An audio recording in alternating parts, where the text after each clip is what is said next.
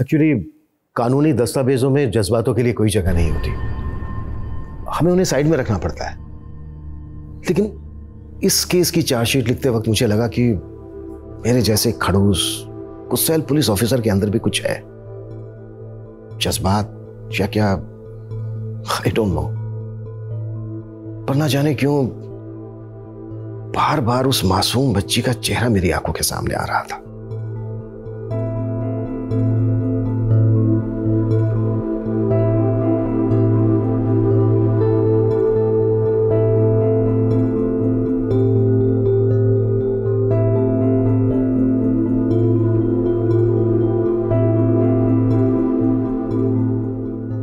सी नटखट बच्ची की आँखों में एक तूफ़ान था। और ज़िंदगी ज़िंदगी एक वैशिला जहर। ये केस सिर्फ़ एक केस नहीं था। युद्ध था। जहाँ चारों ओर रक्तपात ही रक्तपात था।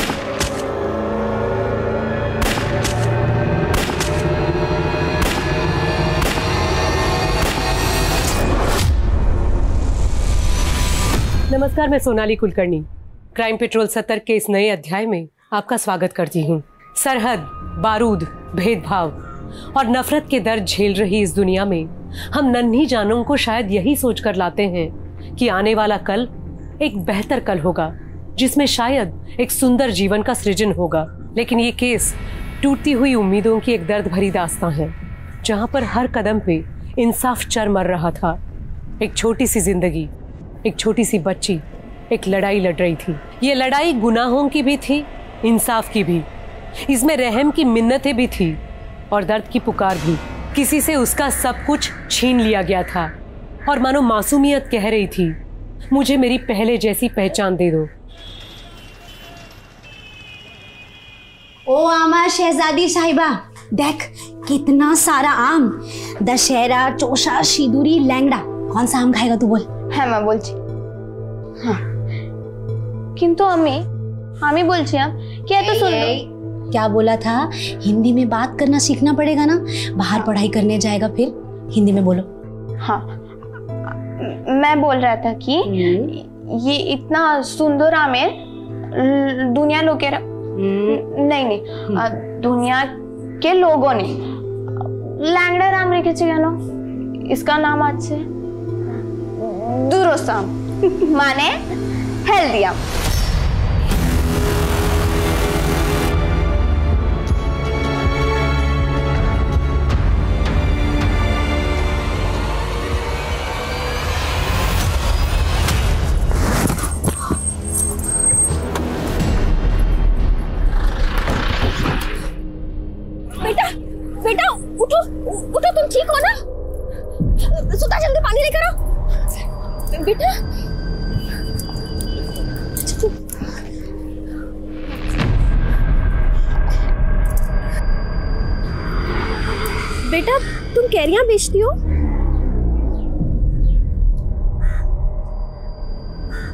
क्या हुआ बेटा? तुम तुम कुछ बोल नहीं सकती हो?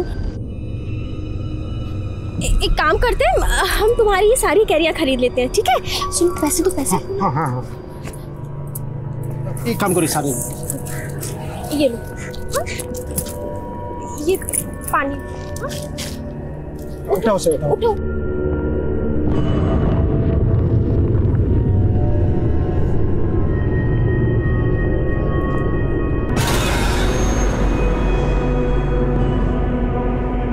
पैसा?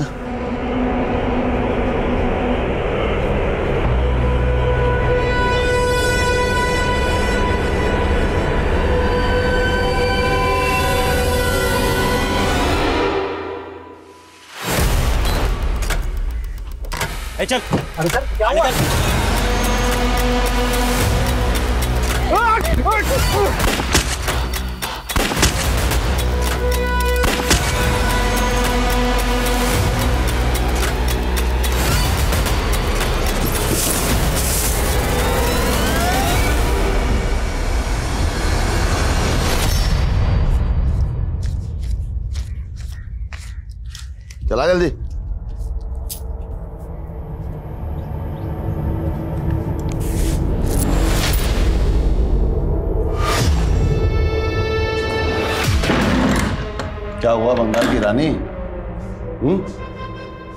चेहरा क्यों उतरा हुआ है?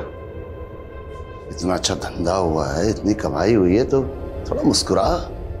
इतनी बड़ी आँख। लगता है टॉनिक देना पड़ेगा। नहीं। सबसे पहले विटामिन एस देता हूँ। Smile smile smile smile smile smile अरे अरे अरे अरे अरे मेरी पतंग। थोड़ी ढील क्या थी तो हवा में उड़ने लगी हाँ? खिड़की से कूद मत जाना।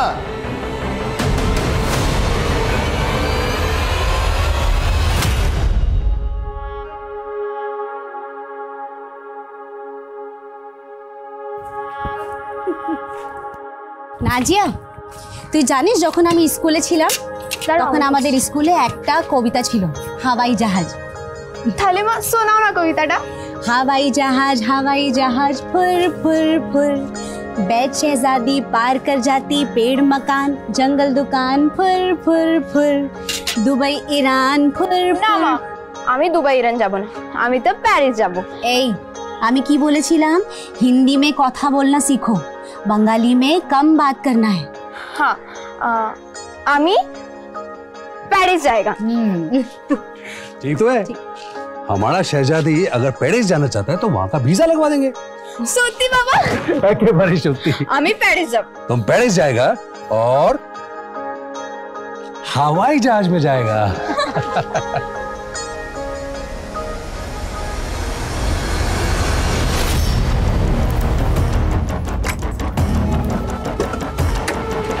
खड़ी आप लोग खड़ी।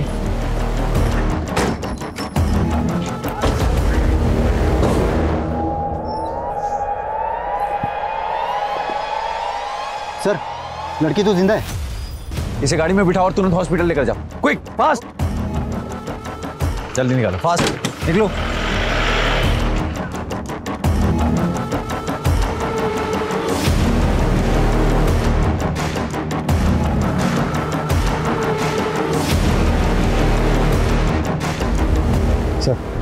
इस लड़की के कान पे जख्म है और जिस लड़की को हमने हॉस्पिटल भेजा उसके कान पे भी जख्म है। सर मुझे लगता है ज़बरदस्ती ज्वेलरी लूटी गई है। विशाल मुझे ये काम उसी गैंग का लग रहा है जो पिछले तीन महीनों में कई सारी फैमिलीज़ को अपना टारगेट बना चुका है। ये मूवी बिल्कुल वैसा ही है। पहले लूटपाट करना मर्डर करना और फिर भाग जाना। एक काम करो जैसे ही उस लड़की को होश आता है सबसे पहले मुझे बताओ। फरीदाबाद आगरा हाईवे पे आज एक फिर बड़ी लूट हुई। ये हाईवे है ये डेथ रोड पिछले तीन महीनों में यहाँ 25 लोगों की जाने जा चुकी हैं। आखिरकार पुलिस क्या कर रही है? Print electronic media social media हर जगह हाईवे रॉबर्स की खबर छाई हुई है। तीन महीने में हम एक गैंग को नहीं पकड़ पाए? हमारी कोशिश जारी है सर। सर हमें लगा कि सर्वाइव विक्टिम के स्टेटमेंट पे हमें लीड मिल सकती है लेकिन अफसोस वो लेडी कोमा में चली गई सर। इसका मतलब तुम्हारी इन्वेस्टिगेशन उस विक्टिम के स्टेटमेंट पर डिपेंड है? नो सर हम और भी एंगल से जाँच कर रहे हैं। हर बार की तरह इस बार भी फीमेल विक्टिम के गहनों को लूटा गया जिसे बेचने के लिए क्रिमिनल किसी न किसी सुनार के पास ज़रूर जाएगा। सर हमारे मुखबिर हर तरफ़ ये पता लगाने की कोशिश कर रहे हैं कि वो कौन सा सुनार है जो लूट के और चोरी के गहने खरीदता है। लेकिन 48 घंटे के अंदर अगर ये गैंग पकड़ में नहीं आया तो मैं ये केस किसी और ऑफिसर को सौंप दूँगा। You may leave now sir sir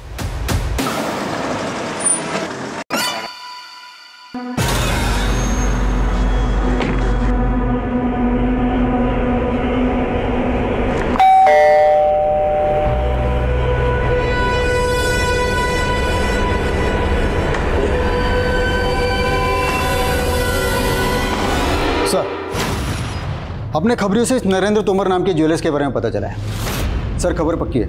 Narendra Tomar चोरी के गहने खरीदता है और बड़ी चालाकी से उन गहनों का सोना पिघला के नए जेवर बना के बेचता है। ये हाईवे रॉबरी वाले अपने चोरी के गहने इस नरेंद्र को बेचते हैं। पहले नरेंद्र को उठाते हैं। सर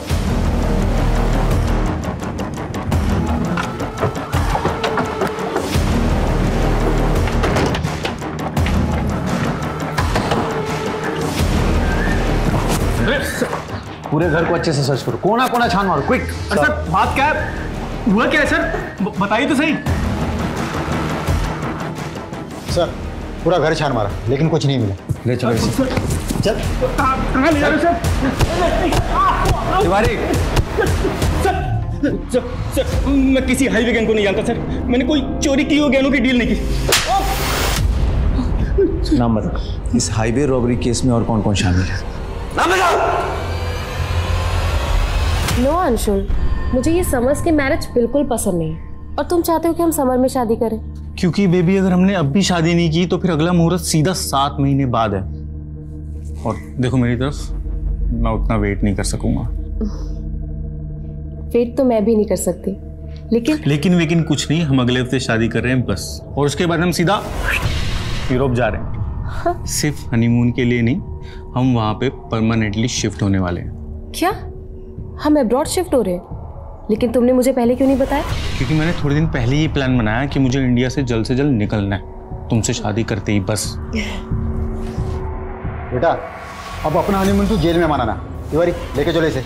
सर एक सेकंड आपको कुछ गलत एक हुआ कैसा सर मैंने कुछ सर सर सर मैंने कुछ किया। सर मैंने कुछ नहीं किया।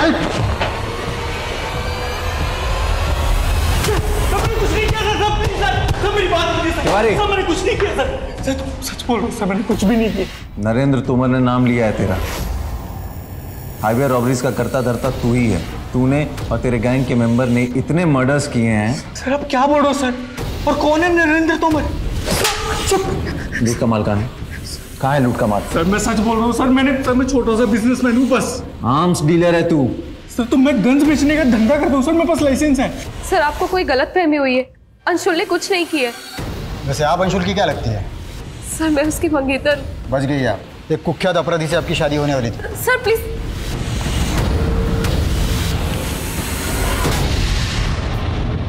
আমি আমি তোমায় এত কোনো চিঠি লিখেছি কিন্তু তবুও তুমি আমায় ফরিদাবাদ থেকে নিতে আসোনি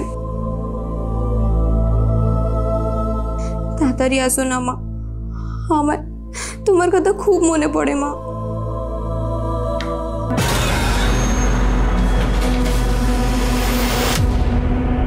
क्या छुपा रही क्या छुपा रही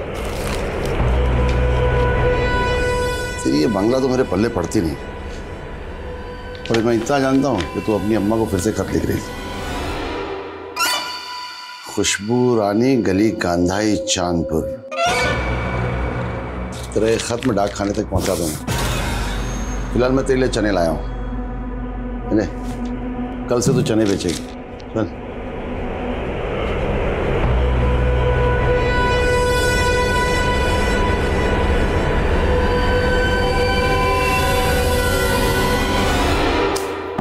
इस बार चना का पैदावार पचास क्विंटल हुआ है। ये बीस क्विंटल पैसे क्यों दे रहा तू हमें? आपको पता था ना? बाकी का चना में घुन लग गया था? घुन लग गया है या सारा बेच के तू खा गया है? तुझको हमने रिश्तेदार समझा था और तू हमको धोखा दे रहा है? दादा कॉलर छिड़ दो। वरना वरना क्या? की कोरे ने भी तू ही? की कोरे ने बाप सच कोरे ने आदेश दो। छाड़ बोलो। बस छाड़ बोलो तो तू देख लेना देख ले क्या फिर सच कोरे बोलो मेरे बोलोगे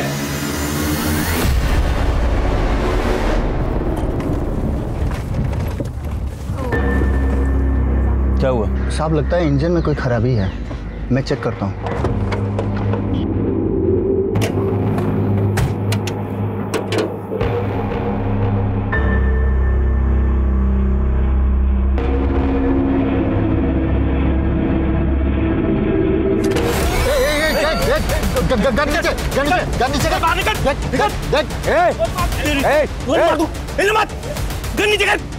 गोली मार दूँगा रख रहा हूँ ए, गन नीचे कर नीचे कर गन नीचे रख गोली मार दूँगा मैं गोली मत चला रख रहा हूँ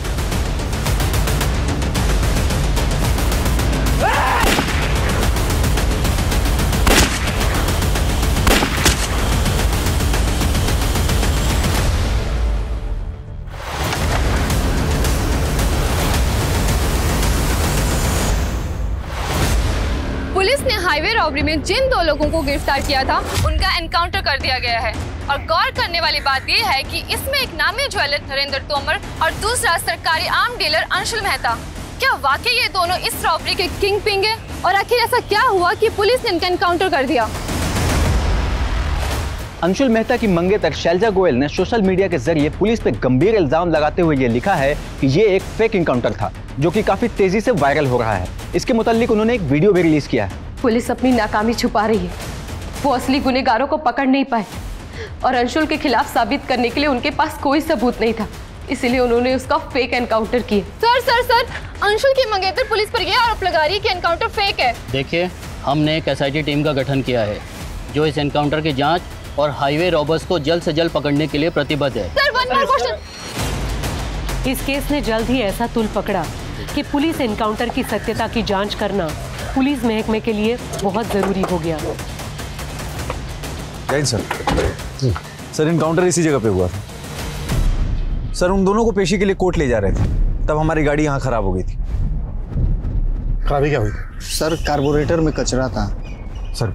उसके बाद सर और ड्राइवर। दोनों नीचे उतरे। मेरा ध्यान भी बाहर ही था। उसका फ़ायदा उठा कि नरेंद्र ने मेरी गन छीन ली और कांस्टेबल को अपने कस्टडी में ले लिया सर। मैंने उसे बहुत रोकने की कोशिश की लेकिन वो नहीं माना। उसने पहला फायर पीएसआई विशाल की तरफ़ किया और दूसरा फायर मेरी तरफ़। फिर मैंने क्रॉस फायरिंग की जिसमें वो दोनों ऑन द स्पॉट मारे। आई होप इस एनकाउंटर में कुछ फाउल प्ले नहीं होगा जैसा कि अंशुल की मंगेतर दावा करती है। अंशुल की मंगेतर एक क्रिमिनल को सपोर्ट कर रही है सिर्फ़ सिंपैथी पाने के लिए। वो दोनों एक हार्डकोर क्रिमिनल थे सर लेकिन इस गैंग में सिर्फ़ दो ही लोग तो नहीं होंगे। सर, इस बात का अफसोस तो हमें भी है कि हम उनके बाकी साथियों का नाम नहीं निकलवा पाए।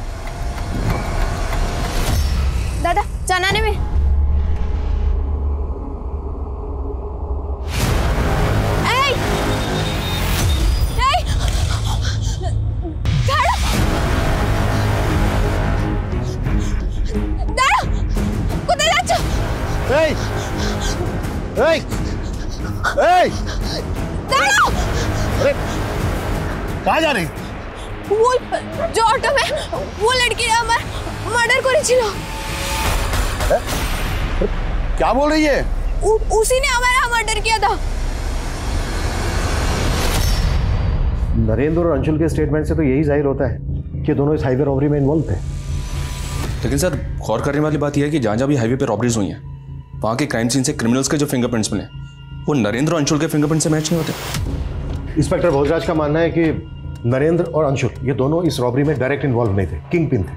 मतलब ये कि असली रॉबर्स अभी भी फरार है जो नरेंद्र और अंशुल से कनेक्टेड हो इनकी एक एक डिटेल पता करनी होगी। अच्छा वो जो विक्टिम सर्वाइव कर गई है, होश में कब तक आ रही है? सर डॉक्टर्स का कहना है कि वो लेडी रिकवर कर रही है। लेकिन उसे होश कब तक आएगा? सर ये कहना थोड़ा मुश्किल है। इस रॉबरी से पहले आगरा फरीदाबाद हाईवे पर चार रॉबरी और हुई डिटेल्स दिखाऊँगी ये देखिए सर।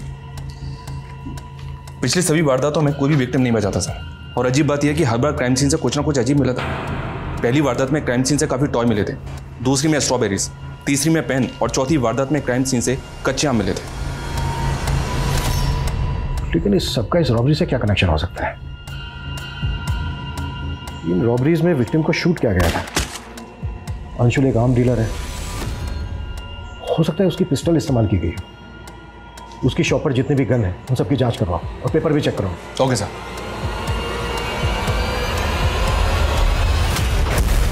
नाजा ज़िंदा हो गई कोई नशा तो नहीं किया तूने? होश उड़ गए थे मेरे। अपनी आँखों से उसे ज़िंदा देख के आ रही हूँ। अरे ऐसा कैसे हो सकता है? उसकी लाश को मैंने खुद ठिकाने लगाया था।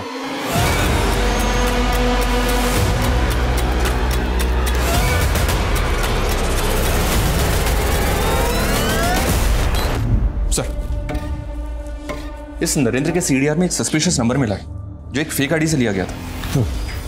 और अंशुल का नरेंद्र के साथ कोई कनेक्शन मिला? जी नहीं सर अंशुल की शॉप में जितनी भी गन्स मौजूद हैं सबकी जाँच करवाई उनके पेपर्स भी चेक किए। लेकिन कोई भी गन रॉबरी में इस्तेमाल नहीं हुई है। हो सकता है जो गन रॉबरी में इस्तेमाल हुई हो। वो अंशुल ने कभी शॉप पे रखी ना हो। और एक बात सर ये अंशुल का फादर अभी जेल में बंद है और अंशुल की मंगेतर शैलजा एक ही बात बोल रही है कि ये एनकाउंटर फेक था। शैलजा से मिलते हैं एक बार। सर मैं पहले भी कई बार कह चुकी हूँ अंशुल एक ऑनेस्ट इंसान था। वो किसी भी क्रिमिनल एक्टिविटी से नहीं जुड़ा था। और अंशुल के फादर मालूम है ना अंशुल के फादर एक्सटॉर्शन फिरौती मर्डर के केस में पिछले आठ साल से अंदर है। सर अगर अंशुल के फादर जेल में थे तो इसका ये मतलब नहीं कि अंशुल क्रिमिनल था। और वैसे भी वो अपने फादर से बहुत पहले रिश्ता खत्म कर चुका है। तुम कब से जानती थी अंशुल को जो उसको लेकर इतना कॉन्फिडेंट हो? दो साल से। और मैं तभी से जानती हूँ कि उसके फादर क्रिमिनल है। उसके बाद भी मैंने उसके साथ दोस्ती की क्योंकि मैं जानती थी कि वो एक अच्छा इंसान था। तुम तो ऐसे हेलो सर उस लेडी को होश आ गया है। इसकी फैमिली हाईवे रॉबरी में मारी गई थी।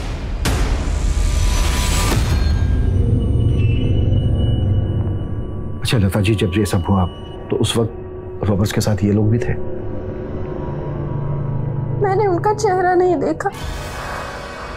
उनका चेहरा ढका हुआ था सिवाय दो पुलिस वालों के। पुलिस वाले? हाँ सर दो पुलिस वाले थे। उन्होंने ही हमारी गाड़ी रुकवाई। जैसे ही गाड़ी रुकी कुछ लोग फिर पीछे से आए। उनके चेहरे ढके हुए थे। उन्होंने हमें ज़बरदस्ती गाड़ी से निकाला। उन्होंने पत्नी मेरे पति को गोली मारी। फिर मुझे अच्छा लता जी वो जो दो पुलिस वाले थे वो दिखते कैसे थे? उनके नाम क्या थे? नेम प्लेट देखी थी आपने उनकी? मैंने ठीक से नहीं देखा। क्राइम सीन पर कुछ कच्चे आम बिखरे हुए थे। आप कुछ उनके बारे में बता सकती हैं वो कैसे आए? आज से के दूरी पहले ही हमने एक बच्ची से वो कच्चे आम खरीदे थे। सर वो बच्ची हमारी गाड़ी के नीचे आते बाल बाल बची थी। इसलिए हम उस बच्ची पर दया खाकर वो सारे कच्चे आम खरीद लिए थे। लता जी ये जो बच्ची थी जिसे आपने आम खरीदे ये क्राइम सीन से कितनी दूर पहले मिली थी आपको? सर लगभग 500 मीटर पहले। इस वारदात से पहले जिन वारदातों में क्राइम सीन से पेन टॉय स्ट्रॉबेरी मिले हैं। हो सकता है वो किसी हॉकर ने विक्टिम्स को बेचे हो या फिर शायद इसी बच्ची ने बेचे हो। मतलब सर आप कहना चाहते हैं वो बच्ची क्रिमिनल से जुड़ी हो सकती है? बिल्कुल। हो सकता है वो बच्ची क्रिमिनल्स के लिए रेकी करती हो और फिर वो क्रिमिनल्स को सिग्नल देती हो लूट और मर्डर करने के लिए। वैसे भी उस बच्ची को क्राइम सीन से लगभग 500 मीटर पहले ही देखा गया है। उस बच्ची से हमें क्रिमिनल्स की लीड मिल सकती है। एक काम करो लता से उस बच्ची का स्केच बनवाओ।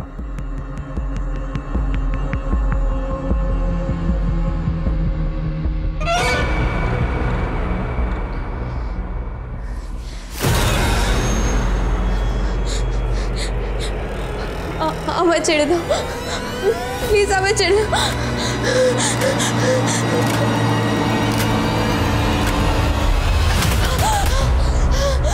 सर सर उस विक्टिम लता ने जिस लड़की के बारे में बताया था उसका स्केच रेडी है सर। ये स्केच अपने सारे खबरी और आसपास के थानों में सर्कुलेट करो। जल्द से जल्द इस लड़की की पहचान पता करो। ओके सर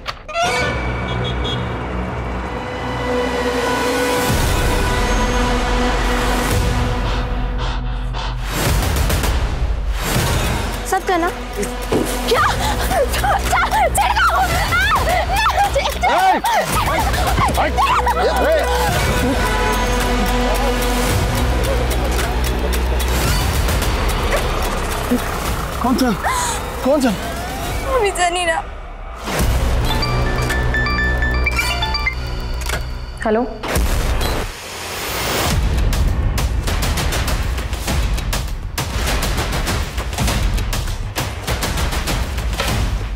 जी बोलिए। सर आज एक अननोन नंबर से मुझे धमकी भरा फ़ोन आया और वो बोल रहा था कि अंशुल क्रिमिनल था और क्रिमिनल ही रहेगा। तुम उसकी इंसाफ की लड़ाई लड़ना बंद करो समझी? सर ये वो नंबर है जिससे मुझे कॉल आ रहा था। Sir now I am sure कि पुलिस में से कोई तो इन्वॉल्व है जो इस फेक एनकाउंटर केस को बंद करवाने के लिए मुझ पर प्रेशर डाल रहा है। सर शैलजा को जिस नंबर से कॉल आया था वो नंबर एक फेक आईडी से लिया गया था। हो सकता है शैलजा अंशुल को बचाने के लिए झूठ बोल रही हो और ये फ़ोन कॉल चाल हो उसकी। बैकग्राउंड निकालो शैलजा की। Okay sir sir sir Narendra की कॉल रिकॉर्ड में जो फेक आईडी का नंबर मिला सर उसमें एक चंद्रेश नाम के हिया व्यापारी का नंबर मिला है। सर ये चंद्रेश है। सर इसका फ़ोन काफ़ी टाइम से बंद है। और ये कहाँ गायब हो गया ये भी नहीं पता चल रहा मे भी चंद्रेश इस सब में शामिल हो। डिटेल निकालो इसकी।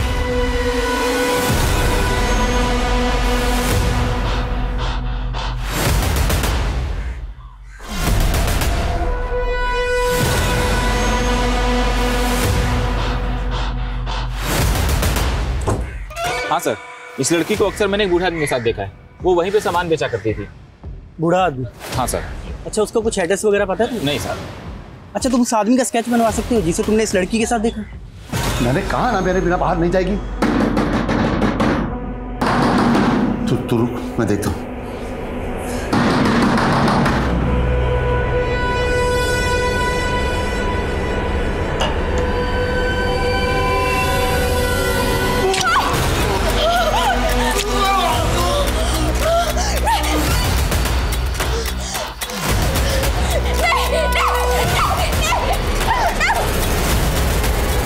सर सर मैंने शैलजा के कॉल डिटेल्स चेक की। उसके कॉल डिटेल्स के मौजूदा नंबर्स में से कई नंबर फेक आईडीज के हैं सर जिनसे लगातार उसे कॉल किया जा रहा था।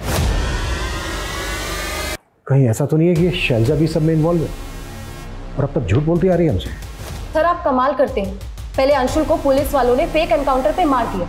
और जब मैंने आवाज़ उठाई तो आप लोग मुझ पर शक कर रहे हैं। ऐसे ही शक नहीं कर रहे हैं हम तुम पे तुम्हारे कॉल रिकॉर्ड्स में फेक आईडी से लिए के कई नंबर मिले हैं। कॉल आते थे उन नंबरों से तुम्हें जो अब बंद है। क्यों आते थे उन नंबर से कॉल ये देखो। चुप क्यों हो गई अब?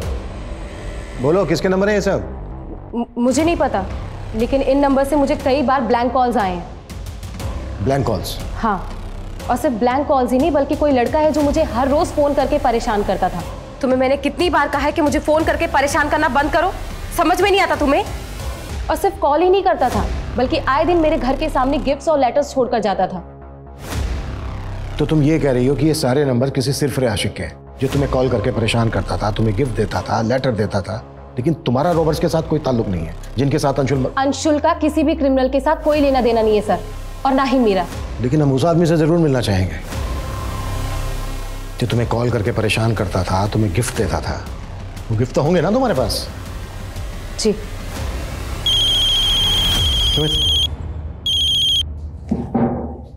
हेलो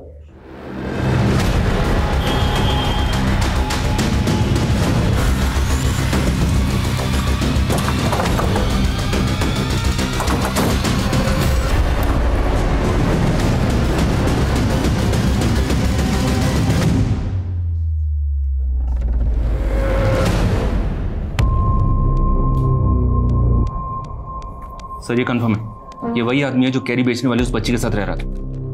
ये देखिए मनीष बच्ची को ढूंढो यहीं कहीं होनी चाहिए। सर। Slide sir. पकड़ चेक करो।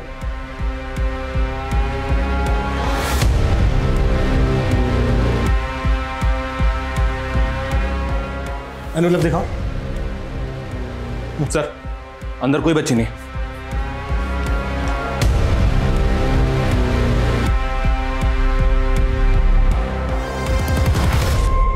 सर ये बच्ची यहाँ रहती तो थी पर अब पता नहीं कहाँ है।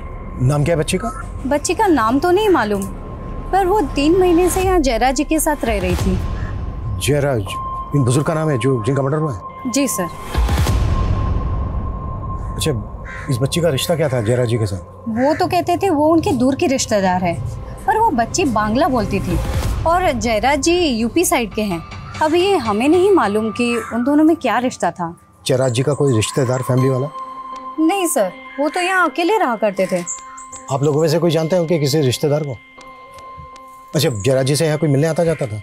जी सर दो लोग अक्सर यहाँ आते रहते थे पर हम उन्हें नहीं जानते। दिखते कैसे थे वो? स्केच बनवा सकते हो उनका? अब इतना ध्यान नहीं है सर एक ऐसी बच्ची जो हमारी सस्पेक्ट है ऐसी जगह से गायब है जहाँ पर एक बुज़ुर्ग का मर्डर हुआ पता करो बच्ची के बारे में। और बुज़ुर्ग से जैसे बंगला में लिखा हुआ एक लेटर मिलता है जिसके एनवेलप पे अधूरा एड्रेस है। लेटर को ट्रांसलेट करवाओ ओके सर सर ये वो गिफ्ट्स हैं जो कोई लड़का मुझे भेजा करता था। आखिर ये सब इन्वेस्टिगेट करके आप लोग साबित क्या करना चाहते हैं? हम लोग कुछ साबित नहीं करना चाहते। साबित आप करना चाहती हैं कि अंशुल उन रॉबर्स के साथ इन्वॉल्व नहीं था। लेकिन हम आपकी बातों पर भरोसा क्यों करें? ये बात मुझे पहले से ही पता है। लेकिन आप लोग इस केस को कोई गलत मोड़ देने की सोचना भी मत। और पुलिस वालों ने मेरे अंशुल का फेक एनकाउंटर किया है। और ये बात मैं हज़ार बार चीख चीख कर कहती रहूँगी। ये चिट्ठी बंगला भाषा में किसी खुशबू रानी के नाम पर लिखी गई है और इस चिट्ठी में लिखा है कि उसकी अम्मी उसके खतों का जवाब नहीं दे रही है ना ही उसको फरीदाबाद से आकर लेकर जा रही है। सर कहीं इसका मतलब ये तो नहीं कि ये जयराज उस बच्ची को अपने साथ ज़बरदस्ती रख रहा था? अब तक हम मानकर चल रहे हैं कि ये बच्ची हाइबर रोवर्स के लिए रेकी करती थी। इसलिए हमारे लिए पता लगाना बेहद ज़रूरी है कि बच्ची इस वक्त कहाँ पर है। इस लेटर पे एड्रेस लिखा गया है खुशबू रानी गली गांधाई चांदपुर। प्रॉपर एड्रेस नहीं है। लेकिन लेटर पढ़ने के बाद ऐसा लगता है कि इस बच्ची ने पहले भी बहुत सारे लेटर्स लिखे हैं। एक काम करो पोस्ट ऑफ़िस में जाके पता करो कि फरीदाबाद से गली गांधाई चांदपुर के लिए पहले भी लेटर पोस्ट हुए हैं क्या? हो सकता है वहाँ से प्रॉपर एड्रेस मिल जाए। ओके सर और हाँ एक काम और करो इस बच्ची का स्केच बंगाल और आसपास के राज्यों में सर्कुलेट करो अखबारों में भी डलवाओ। शायद इस बच्ची को पहचानने वाला कोई आदमी सामने आए। ओके सर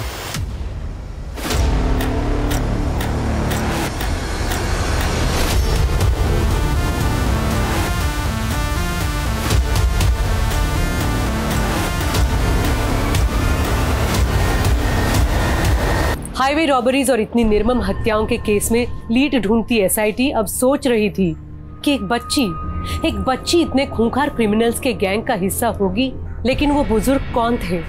जिनके साथ वो बच्ची रह रही थी? उस बुज़ुर्ग की हत्या किसने की थी?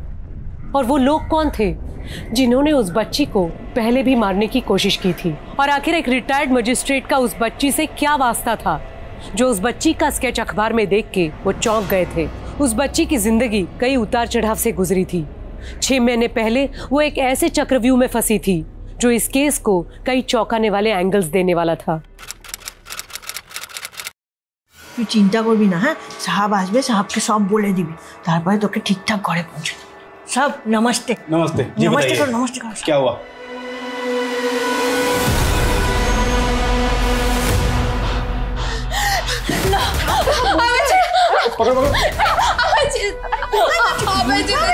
क्या हुआ इस बच्चे को और ये कौन है बच्ची साहब ये ना मेरे दुकान के बाहर ही खड़ी थी और रो रही थी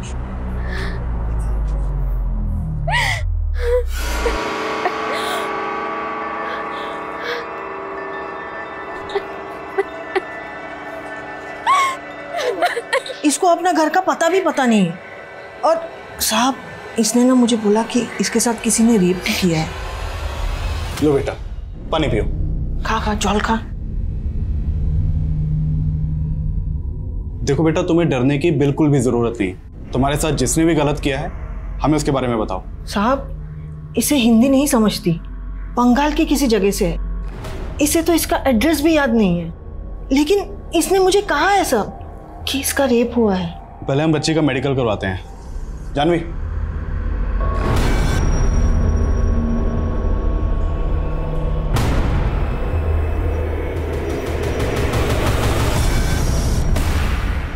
सर, ये बच्ची की मेडिकल रिपोर्ट है। सर, रिपोर्ट से ये तो कंफर्म नहीं हुआ कि बच्ची का रेप हुआ था। लेकिन बच्ची सेक्सुअली एक्टिव थी। और इस बच्ची की उम्र महज 14 से 15 साल की होगी। इस लड़की ने क्या बयान दिया? सर बच्ची काफ़ी डरी हुई थी और ठीक तरह से हिंदी भी नहीं बोल सकती। ये बच्ची इन विमला जी की दुकान के बाहर मिली थी। ये बंगाली हैं। बच्चे ने विमला जी को बताया था कि उसका रेप हुआ था। इस बच्ची का जो आपने अखबार में स्केच छपवाया है पहले मेरी कोर्ट में मेरे सामने पेश हुई थी और इसने अपने बयान बंगाली में दिए थे और ये कहा था कि इसके साथ कुछ लोगों ने ज़बरदस्ती की है। लेकिन ये बच्ची अपने किसी भी रेपिस्ट का नाम नहीं जानती थी और ना ही उनको पहचानती थी और ना ही उसका स्केच बनवा पाई थी। लेकिन इस बच्ची ने अपने बयान में यह भी कहा था कि उसके साथ एक ऐसे व्यक्ति ने रेप किया था जो उस वक्त पुलिस की वर्दी में था। पुलिस की वर्दी? जी। सर अब तक हम ये मानकर चल रहे थे कि ये बच्ची रॉबरी गैंग वालों के लिए रेकी करती थी। और एक विक्टिम ने हमें स्टेटमेंट दिया कि जो वो गैंग था उसमें दो पुलिस वाले भी शामिल थे। सर आपको कुछ अंदाज़ा है कि बच्ची उस गैंग तक कैसे पहुँची होगी? कुछ बताया था इसने? ऐसा तो मैं कुछ नहीं जानता लेकिन ये बच्ची उस वक्त कुछ नहीं बोल पा रही थी। इसलिए मैंने इसे एनजीओ में रखने का ऑर्डर दिया था। हाँ सर तीन महीने पहले ये बच्ची हमारे एनजीओ में ही थी। तो फिर तीन महीने पहले बच्ची यहाँ से गई कहाँ? उसकी मौसी आई थी उसे यहाँ से लेके जाने के लिए करीबन तीन महीने पहले।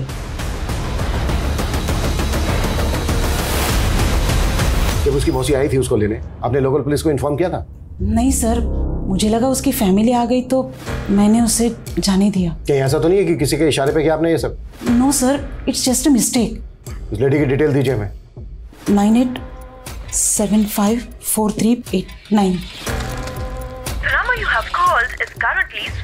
Number तो बंद आ रहा है। ज़ाहिर सी बात है nंबर फेक होगा और एड्रेस भी। नाम क्या था उसका? सर उसका नाम नफीसा था। फ़ोटो दीजिए उसका। जी ये रही। इस एनजीओ के बारे में इंक्वायरी करो। नाजिया का कहना है कि किसी पुलिस वाले ने भी उसका रेप किया था। इस केस के तार बहुत दूर तक जुड़े हो सकते हैं। कैसे भी करके हमें पता लगाना है कि इस वक्त नाजिया है कहाँ। छड़ दो एकदम चुप। चुप। एकदम चुप। चुप। हमें छड़ दो छड़ दो प्लीज़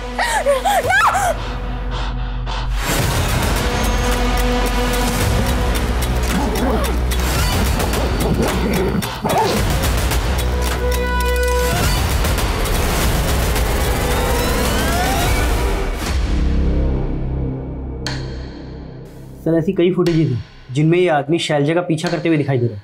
लेकिन सर किसी भी फुटेज में इस आदमी का चेहरा क्लियर नहीं है। ये आदमी किसी फुटेज में शैलजा के साथ बात करते हुए भी दिखाई गए? नहीं सर लेकिन सर मुझे ऐसा लग रहा है कि कहीं ये आदमी शैलजा का वही जिल्टेड लवर तो नहीं है जो शैलजा को ब्लैंक कॉल्स किया करता था और गिफ्ट्स भेजा करता था। पता करो ये आदमी कौन है। अंशुल मेहता और नरेंद्र तोमर के पुलिस एनकाउंटर को एक फेक एनकाउंटर कहने वाली शैलजा का अतीत क्या एसआईटी को वाकई कोई लीड देने वाला था? और एसआईटी नाजिया का अतीत जानने के लिए इतनी इच्छुक क्यों थी? क्या वाकई कोई ऐसा पुलिस वाला था जो नाजिया का रेप कर रहा था?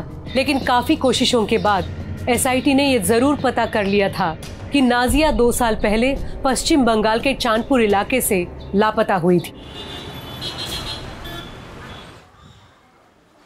करीब दो साल पहले आप लोगों ने नाजिया की मिसिंग कंप्लेन फ़ाइल करवाई थी। आखिर वो फरीदाबाद कैसे पहुँची? गायब कैसे हुई थी वो?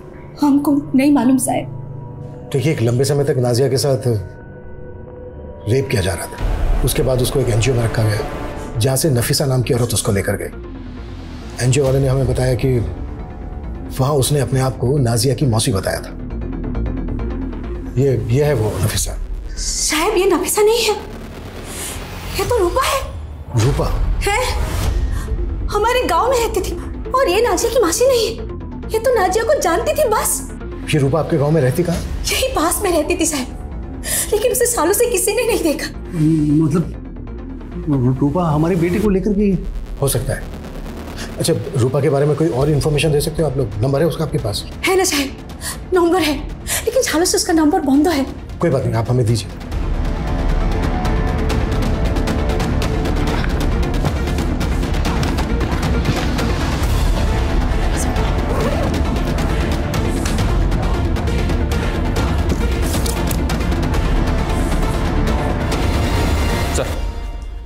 सर रूपा के पुराने नंबर की सीडीआर चेक की तो एक चौंकाने वाली बात पता चली।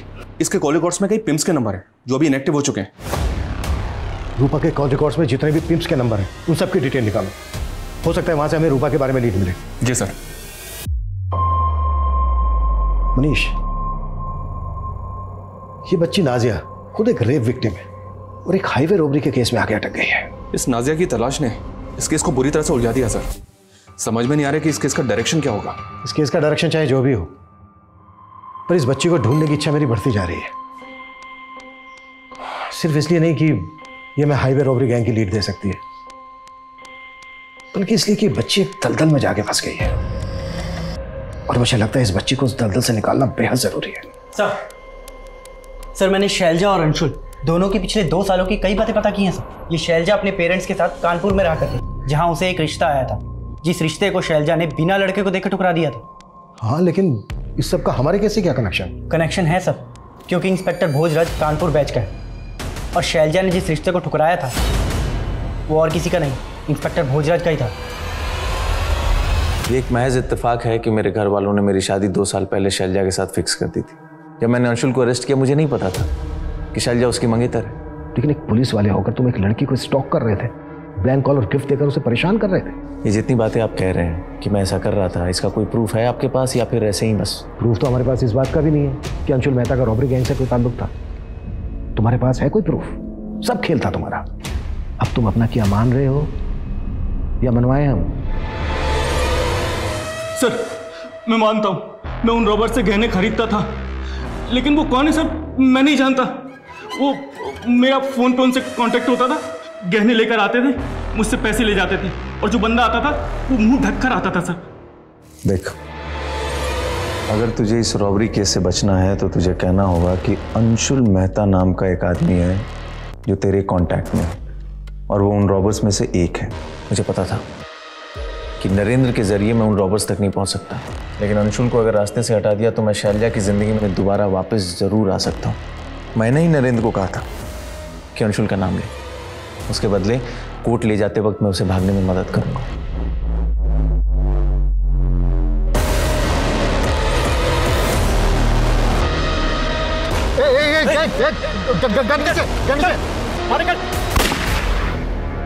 नरेंद्र इस केस की अहम कड़ी था। उसको ही मार दिया तूने। और उस बेकसूर अंशुल को भी। कैसा पुलिस वाला है तू? इस वर्दी का अपमान किया है तूने। भोजराज के स्टेटमेंट से यह तो साफ़ है कि नरेंद्र तोमर रॉबरी गैंग से जुड़ा था।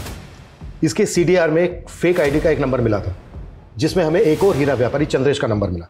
इस चंद्रेश को मैंने ढूँढने के लिए कहा था क्या अपडेट है इसकी। सर खबरियों को इसकी तलाश में लगाया। खबरियों को तलाश में लगाया बस हो गया।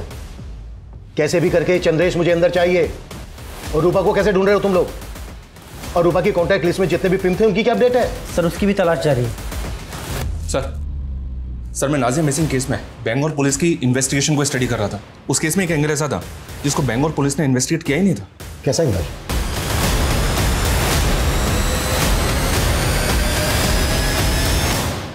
क्या हुआ? अब चुप क्यों हो तुम लोग?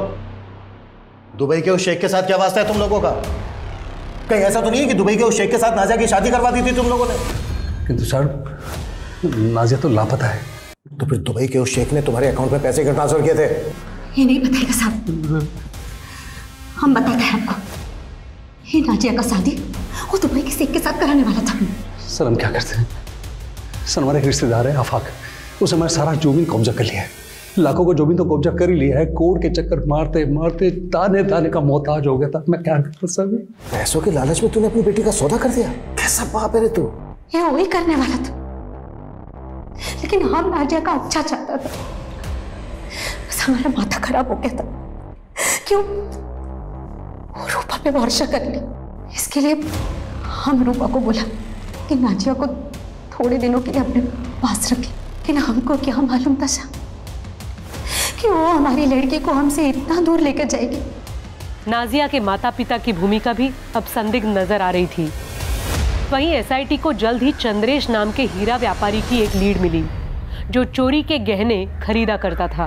सर मेरी बात मानिए सर। मैं किसी नरेंद्र तोमर को नहीं जानता सर। जिस फेक आईडी के नंबर से नरेंद्र तोमर को कॉल किया जाता था उसी फेक आईडी के नंबर से तुझे भी कॉल किया जाता था।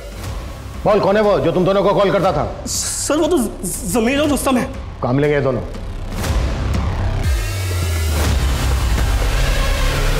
पकड़ो सबको।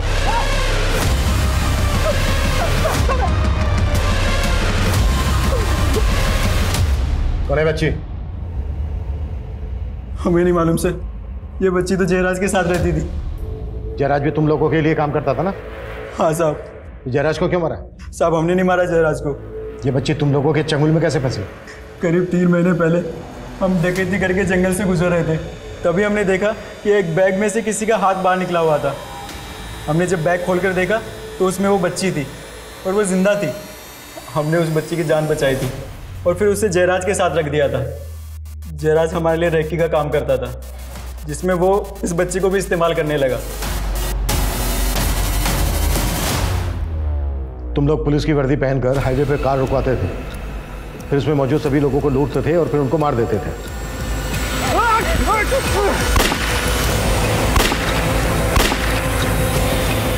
हमें पता चला है कि कोई पुलिस की वर्दी वाला आदमी उसका रेप करता था। तुम में से ही था ना कोई?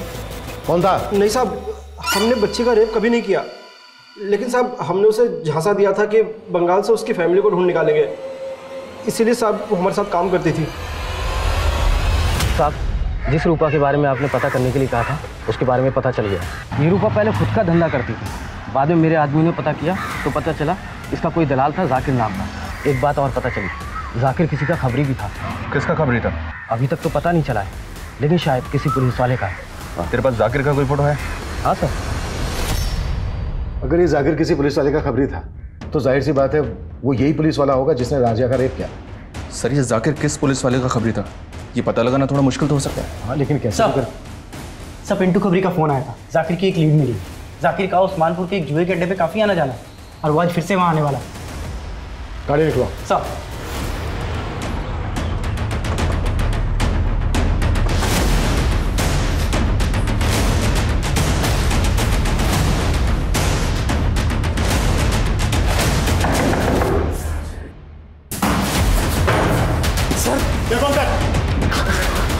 कौन लाजिया का सर बोल सर सर बताता हूँ सर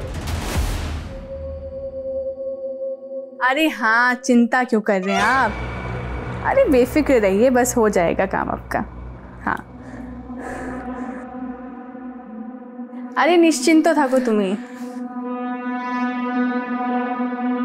काम हो जाएगा बिल्कुल हाँ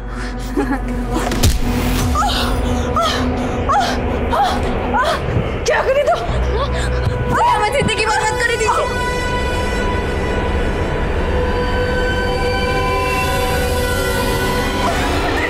ना जा नहीं नहीं नहीं बेटा छोड़ उसको। छोड़ छोड़ छोड़ छोड़ बेटा छोड़ हट हट बेटा हट। मनीषा लेके चलो इसको बेटा डरो मत। हम पुलिस। कुछ नहीं होगा तुम्हें। हम फरीदाबाद में मीट का काम करता था। और एक्स्ट्रा पैसा कमाने के लिए हम सेक्स रैकेट से जुड़ गया। तभी हमारा मुलाकात जाकिर से हुआ था। हम जानता था कि वर्जिन लड़की का मार्केट अच्छा है। इसलिए जब नाजिया की माँ नाजिया को हमरा पास छोड़ के गया तो हमरा मन में लालच आ गया और हम उसको फरीदाबाद लेके आ गया। आओ अंदर आओ। नाजिया। और जाकिर उसको धंधे पे बिठा दिया। मैं बस नाजिया ऐसी बच्चियों को सूटकेस में डालकर अपने क्लाइंट्स के पास ले जाता। नाजिया के साथ भी मैंने यही धंधा शुरू कर दिया था।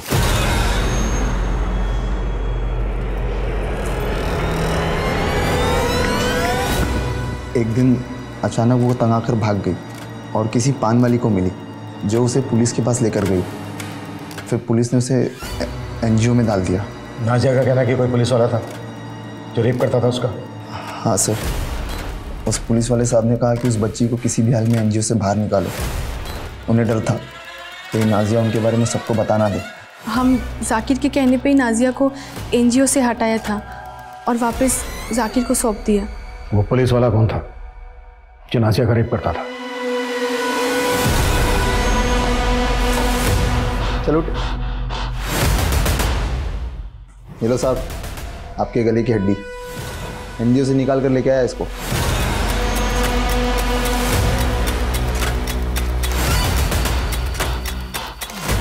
साहब को लगा कि वो मर गई। इसलिए मैं उसे सूटकेस में डालकर दूर जाकर फेंक के आया। लेकिन मुझे नहीं पता था कि वो ज़िंदा थी। वो तो तीन महीने बाद अचानक रूपा ने उसको एक बूढ़े आदमी के साथ देखा। तो मैंने ये बात साहब को बताई। साहब ने कहा कि ख़त्म कर दो नाजिया को। वो बच्ची फिर हाथ से निकल गई। फिर मैं उस बुढ़े को मारकर नाजिया को अपने साथ उठा लाया। साहब ने कहा कि नाजिया को मार दो। लेकिन मैंने सोचा, अगर मारना ही है तो क्यों ना कुछ और पैसे कमा लूँ उससे। इसलिए अब तक मैंने उसको ज़िंदा रखा था।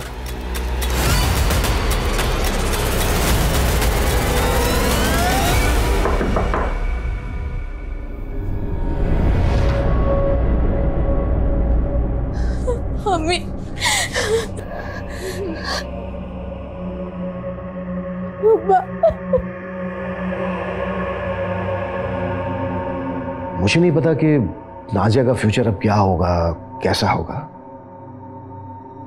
लेकिन मैं आप सभी से अपील करता हूँ, जब आप नाजिया जैसे बच्चों को कहीं भी, किसी भी मुसीबत में देखें प्लीज़ पुलिस से संपर्क ज़रूर करें।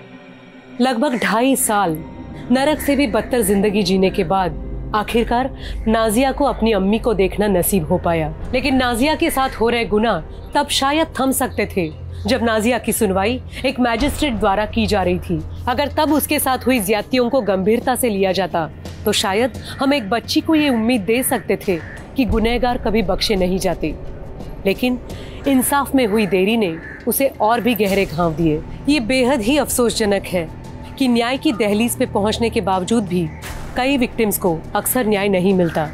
और कई बार सुनवाई में ही इतना वक्त बीत जाता है कि इंसाफ का कोई मायना ही नहीं रह जाता। इस विषय पे वाकई विचार होना ज़रूरी है। आप जानते हैं कि हम इस वक्त कोविड 19 की चुनौतियों से लड़ रहे हैं। कृपया मास्क लगाएँ और सोशल डिस्टेंसिंग का ज़रूर पालन करें। अब मैं सोनाली कुलकर्णी आपसे विदा लेती हूँ। क्राइम पेट्रोल सतर्क जस्टिस रिलोडेड में। फिर होगी आपसे मुलाकात एक नए और चौंका देने वाले केस के साथ। तब तक अपना और अपने परिवार का ख्याल रखें। जय Hind. For more update subscribe to our channel click the show links and enjoy watching the videos